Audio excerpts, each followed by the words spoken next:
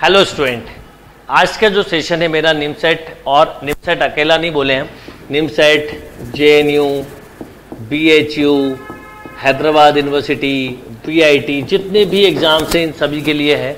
और आप लोग, क्योंकि बहुत सारे स्टूडेंट मेरे साथ ऐसे हैं ऑनलाइन में जो 2020 और 21 22 के लिए जुड़े हुए हैं। और आप सब लोगों ने कई समय से कहा है कि, सर, हम लोगों के लिए एक अलग सेशन लें, इसलिए मैं सेशन ले रहा हूँ। क्योंकि आपके पढ़ाई का तरीका और 2020 के स्टूडेंट के पढ़ाई का तरीका डेफिनेटली अलग होगा। क्लासरूम कोर्स में भी बहुत सारे ऐसे स्टूडेंट होते हैं जो 2022 में एग्ज़ाम देने वाले हैं, अभी से क्लास ज्वाइन किया हुआ है। इवन ऐसे भी बहुत सारे स्टूडेंट हैं जिन्होंने ट्वेल्थ के बाद BCA के साथ MCA का कोर्स ज्वाइन किया हुआ है।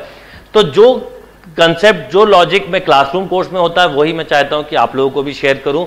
और आप लोग भी क्योंकि जुड़ते जा रहे हैं और सबसे ज़्यादा खुशी की बात है कि अगर मैं देखूँ तो लास्ट ईयर के कंपेयर में इस बार बहुत बड़ा परसेंटेज है जो अभी से सेकेंड ईयर से या फ़र्स्ट ईयर से एमसीए को लेके सीरियस है। इनफैक्ट वो बच्चे जो तुरंत एडमिशन ले रहे हैं बीएससी या बीसीए में, वो जुड़ते जा रहे हैं। एक चीज़ मैं बोलना चाहूँगा, क्योंकि आप लोग मुझे फ़ोन करते हैं, जितने से बात हो पाती है। अगर आप ट्वेल्थ कर चुके हैं और आपने अभी तक एडमिशन नहीं लिया है तो अगर आप बीएससी में एडमिशन लेते हैं तो ध्यान रखिएगा मैथ्स सब्जेक्ट ज़रूर रखिएगा और या फिर बीसीए करिएगा। ये दो अच्छे ऑप्शन है बीकॉम या बीबीए की तरफ़ जाएँगे तो आपको फिर एमसीए में प्रॉब्लम आ सकता है। अगर आपको कंप्यूटर लाइन में जाना है तो। जैसे आज ही मैं एक सुबह बच्चे से बात कर रहा था तो उसने अभी तक डिसाइड ही नहीं किया था, ऐसे में मैं आपको कहूँगा, पर ये चाहता था वो, सर, कि मैं अभी से एमसीए की प्रिपरेशन करूँ। तो इसलिए मैंने आपको सबसे पहले ये बात बोली कि अगर इनकेस आप ट्वेल्थ अभी कर चुके हैं और अभी तक एडमिशन नहीं लिया तो इस बात का ध्यान रखें कि आप जो भी करें, वो ये ध्यान रख के करें कि नेक्स्ट थ्री ईयर बाद क्या करना। अगर आपका टेक्निकल लाइन में कंप्यूटर फ़ील्ड में जाने का इंटरेस्ट है तो बीसीए या बीएससी करें और 70 60 परसेंट मिनिमम मांगते हैं, पर ट्राई करें कि 70 75 परसेंट बनाएँ। और कुछ बच्चों ने मुझसे ये भी पूछा था कि ट्वेल्थ में अगर परसेंट कम है तो कहीं एमसीए में प्रॉब्लम तो नहीं आएगी तो मैं बता दूँ कि ट्वेल्थ और टेंथ का परसेंटेज एमसीए में नहीं देखा जाता है। और ये एक पीजी डिग्री है। कुछ ऐसे स्टूडेंट भी मुझे मिले जिन्होंने बी में एडमिशन ना लेके ज़्यादा अच्छा समझा कि बीसीए करके एमसीए करें। बिल्कुल मैं बोलूँगा, ये बहुत अच्छा डिसीज़न है। प्राइवेट कॉलेज से ऐसे कॉलेज से बी करने से जिससे आगे कुछ ना पॉसिबिलिटी हो, ऐसे में ज़्यादा अच्छा है कि आप बीसीए या बीएससी करके एमसीए का प्रिपरेशन करें। और जैसे बी के ट्वेल्थ के बाद हम एनआईटीज में एडमिशन लेते हैं जेई मेंस के थ्रू वैसे ही निम सेट के थ्रू लेते हैं। जेई में तीन प्रॉब्लम्स आती है फिजिक्स केमिस्ट्री मैथ्स तीन सब्जेक्ट होते हैं। कई बार एक सब्जेक्ट वीक होने से नहीं हो पाता। एमसीए में अच्छी बात है कि मैथ्स के साथ साथ लॉजिकल रीजनिंग कंप्यूटर फंडामेंटल ही होता है और मैथ्स और लॉजिकल रीजनिंग मैथ्स का ही पार्ट है। तो ये एक अच्छा ऑप्शन है। तो आप सभी लोग, जो नए लोग जुड़ते जा रहे हैं, उन सभी को ये मैसेज देना चाहता था या जुड़ेंगे, उन सब के लिए मैसेज बहुत इंपॉर्टेंट था। अब बात करते हैं कि पढ़ना किस ढंग से चाहिए। एक चीज़ समझ लीजिए कि अगर कोई 2021 में देने वाला है तो उसको वैसे ही पढ़ना चाहिए कोशिश करके जो 2020 वाले कर रहे हैं बट थोड़ा सा ज़्यादा टाइम आपको देना है।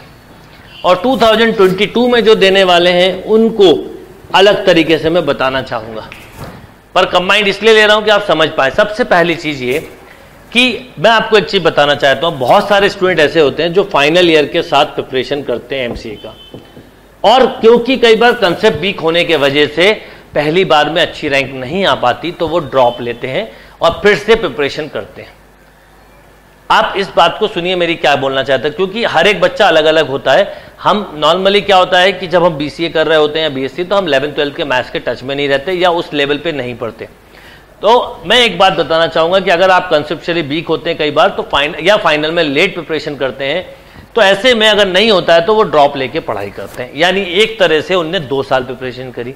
तो जो बच्चा आज 2021 में एग्ज़ाम दे रहा है, वो ये मान ले जो सेकेंड ईयर में है कि हम अगर अभी से ही इस ढंग से पढ़ें कि जो एक साल में पढ़ने के बाद जो भी पॉसिबल मिस्टेक हुई, हो भी गई तो मुझे जो ड्रॉप लेना है वो ड्रॉप ईयर ना हो कि वो फाइनल ईयर हो।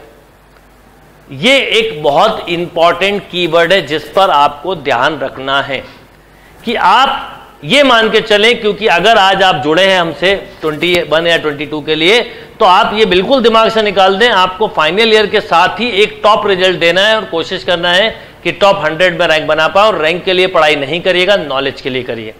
मैं चाहे ट्वेंटी का बच्चा हो, चाहे ट्वेंटी वन चाहे ट्वेंटी टू मैं हमेशा एक बात बोलता हूँ कि जब भी रैंक के लिए पढ़ाई करोगे तो पता नहीं रैंक आएगी कि नहीं, पर नॉलेज के लिए पढ़ोगे तो रैंक ज़रूर आएगी। तो अपने आप को आज से एक तो बात याद रखिए नॉलेज के लिए पढ़ना। दूसरी बात कि जो टॉपिक ट्वेंटी वाले बच्चे वन वीक करते हैं, आप उन्हें टू वीक में करें। जो हम आपको शेड्यूल देते हैं, उसमें आपके पास ये स्कोप है कि आप एक एक टॉपिक को करें। जो 20 वाले बच्चे हैं, वो at a time two topics को पढ़ते हैं। ये मैं आपको बताना चाहूँगा कि 20 वाले बच्चे टू टॉपिक्स को पढ़ते हैं। जैसे एक एग्जांपल कि अभी क्लास में एपी जीपी एसपी यानी प्रोग्रेशन और साथ में परमुटेशन एंड कॉम्बिनेशन चल रहा है। पर 21 वाले बच्चों को मैं बिल्कुल क्लियर बोलूँगा कि आप या तो प्रोग्रेशन ही करें या फिर आप परमुटेशन एंड कॉम्बिनेशन करें, दोनों ना करें। ये डिफरेंस है। और 22 वालों को एक साथ बिल्कुल क्लियरली बोल दूँ कि आपको थ्री ईयर का टाइम है। आप बल्कि 20 2019 से 20 में पूरा इलेवेंथ वाले सिलेबस को अच्छे से करें और 20 और 21 में इलेवेंथ के साथ साथ ट्वेल्थ के सिलेबस को अच्छे से करें और रीजनिंग नेक्स्ट ईयर ही पढ़ें। लॉजिकल रीजनिंग इस साल ना पढ़ के नेक्स्ट ईयर पढ़े जिनको 22 में एग्ज़ाम देना है, यानी 22 वाले बच्चों को लॉजिकल रीजनिंग जो है, वो 20 से 21 के सेशन में पढ़ना है, इस साल नहीं पढ़ना है। जो 21 वाले स्टूडेंट हैं, उनको लॉजिकल रीजनिंग का बहुत ध्यान से सुनिएगा, आप फिर भी कंफ्यूज ना हो। तो 20 21 वाले बच्चों को लॉजिकल रीजनिंग दिसंबर के बाद पढ़ना है, अभी नहीं पढ़ना है। तो आपको 20 जैसे को फॉलो नहीं करना है, थोड़ा सा ये अपने अंदर डिफ्रेंशिएट करके चलना है। एट ए टाइम एक ही टॉपिक करें फाउंडेशन बुक के, जैसे यहाँ पर मैं बोलता हूँ कि कोई बच्चा जैसे 20 वाला है, अगर वो फाउंडेशन बुक पूरी नहीं कर पा रहा तो मैं बोलता हूँ गाइड सॉल्व नहीं करना, पहले फाउंडेशन बुक करो, जब तक फाउंड क्योंकि फाउंडेशन बुक से बहुत कुछ हो जाता है। जब तक वो नहीं होती बेस बुक जब तक कोई गाइड नहीं करो। पर 21 और 22 वालों को बोलूँगा फाउंडेशन बुक भी करनी है और गाइड भी सॉल्व करनी है, क्योंकि आपके पास टाइम है। तो एक चीज़ समझ लीजिए, जितना टाइम होगा प्रैक्टिस का टाइम उतना बढ़ेगा। और जितना टाइम कम होगा प्रैक्टिस का टाइम कम मिलेगा। यानी, अगर आप 20 वाला बच्चा प्रोग्रेशन के 100 क्वेश्चन कर पाता है तो मैं बोलूँगा 21 और 22 को 200 300 करना चाहिए, क्योंकि आपके पास टाइम है। जितना ज़्यादा प्रैक्टिस होगा, उतने स्ट्रॉन्ग कंसेप्ट बनेंगे। जब आप इतने पहले से ऑनलाइन कोर्स से जुड़े हैं तो इसका बेनिफिट लीजिए कि फाइनल ईयर आते आते तक आपको हर एक चीज़ आ जाए। तो 21 और 22 वालों को एक बात बिल्कुल क्लियर बोलूँगा कि जिस ईयर में एग्ज़ाम देना है, उसके छह महीने पहले आप हर तरह से फ्री हो जाए। मतलब आप ऐसा बोले कि मेरा आज पेपर हो जाए तो भी मैं टॉप कर सकता हूँ। इस लेवल पे नॉलेज के साथ पढ़ाई करनी है, ये बात दिमाग में रख लीजिए। इसलिए सेशन में आपको बिल्कुल बता के ले रहा हूँ कि आपको पैनिक होने की ज़रूरत नहीं है। आपको जो प्लान में डालता हूँ जुलाई ट्वेंटी वाले बच्चों का, वो प्लान सुन के उसके एक एक टॉपिक्स को लेके चलना है, दो टॉपिक एक साथ लेके नहीं चलना है। ट्वेंटी वालों के पास दस महीने हैं, ट्वेंटी वन वालों के पास ten plus twelve, twenty two month है, और ट्वेंटी टू वालों के पास ten plus two, twelve plus twelve, यानी थर्टी फोर मंथ्स है। तो जब हमारे पास टाइम ज़्यादा है तो प्रैक्टिस ज़्यादा करेंगे। जितनी ज़्यादा प्रैक्टिस, उतना अच्छा रिज़ल्ट। ड्रॉप के नो चांस, ज़ीरो चांस है। अब तक के रिकॉर्ड्स हैं कि जो बच्चा टू या थ्री ईयर प्रिपरेशन करता है, वो बेस्ट और टॉप रिज़ल्ट देता हुआ आ रहा है और आगे भी देगा। बट अपने फोकस को डाइवर्ट मत करिए कंफ्यूज मत होइए।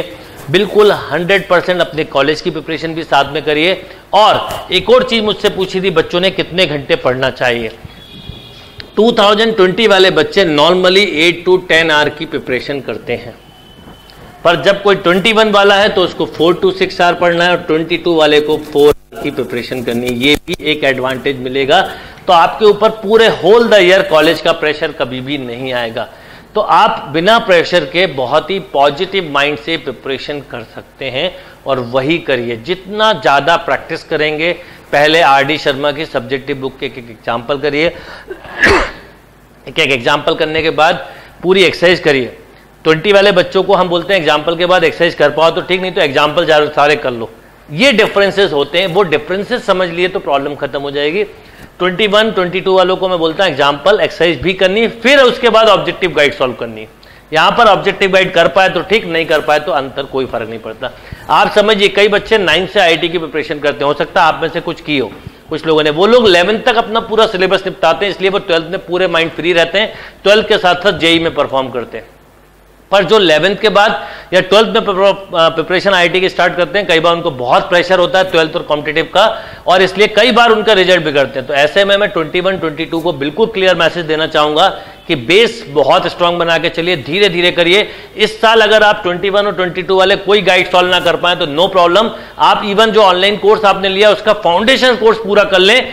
मेंस और एडवांस लेवल वाले जो क्वेश्चंस दिए वो ना करें वो आप नेक्स्ट ईयर कर सकते हैं। जबकि 20 वाले को ये सब अभी करना है। इसलिए 22 और 21 वालों को बहुत स्पेशली बोलूँगा कि अभी पहले फाउंडेशंस को स्ट्रांग करना है एंड देन उसके बाद ही आपको फिर एवल लेवल बढ़ाना है। तो आप अभी इस साल पे फोकस ये रखिए कि पहले फाउंडेशन बुक्स पूरी कर लें।